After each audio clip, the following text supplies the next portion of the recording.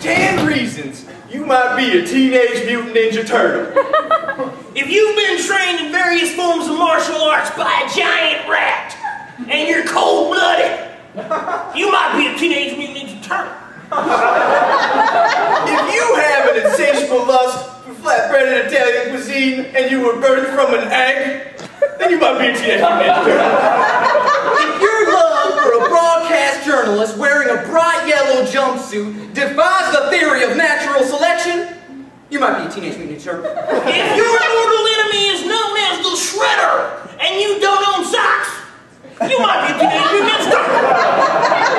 Now, if Vanilla Ice wrote a song about you, and you're not Vanilla Ice, then you might be a Teenage Mutant Ninja Turtle. If you think that wearing a thin monochromatic mask covers your identity and you're a giant reptile with big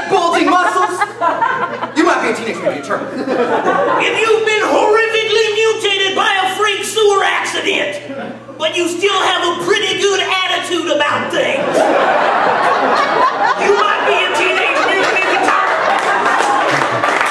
If you were trained in the ancient art form of ninjutsu and belong to the taxonomic order Testudines, then you might be a Teenage Mutant Turtle.